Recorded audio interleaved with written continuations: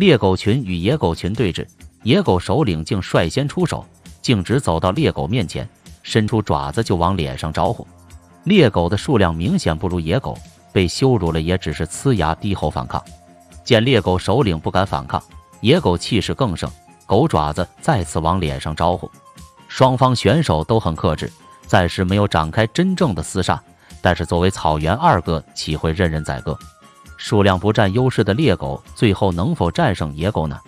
感兴趣的朋友点击按钮支持一下。我们接着往下看，草原二哥与三哥相遇，双方向来水火不容，碰面自然分外眼红。猎狗上来就想在气势上强压一头，殊不知野狗丝毫不怂，竟玩命反扑。硬的遇到横的，猎狗群瞬间被逼得节节败退，甚至猎狗首领的两个小弟连大气都不敢出。只有他自己硬着头皮死磕，但对方数量占优，他也不敢过于嚣张，不然激怒了野狗群，凭身边这俩怂货，真打起来指不定会直接卖了自己。然而就在此时，身后的猎狗突然硬气了一把，野狗见状立马躲得远远的。好家伙，感情两边都在虚张声势，双方隔空对峙，气氛一时间有些尴尬。为了缓解气氛，野狗选择率先出手。由于双方均有所忌惮，所以并没有想象中的直接展开厮杀，而是宛如斗舞一般，你来我往，却不伤及彼此分毫。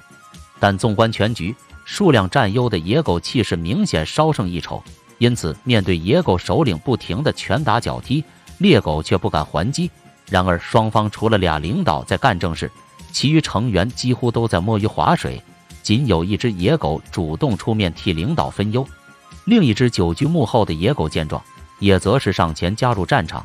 野狗首领并没有休息，而是趁机深入敌后，开始策反两只不务正业的猎狗小弟。猎狗首领见状，急忙打断了他的游说。倘若他俩真被策反离开，自己就成了众矢之的。好在之前那只硬气的猎狗小弟还有点骨气，虽然被冲过来的野狗吓退，但至少比另一只始终趴在地上的怂货要好得多。眼瞅着野狗数量越来越多，己方却迟迟没有支援。在挨了野狗俩耳光后，猎狗首领也终于后退，不再硬撑门面。明知道野狗群大概率是虚张声势，可他也不敢冒险去赌一把。在没有同伴数量上的支撑下，最后猎狗不敌落荒而逃。好了，今天的视频就到这里了，喜欢的点个赞，我们下期见。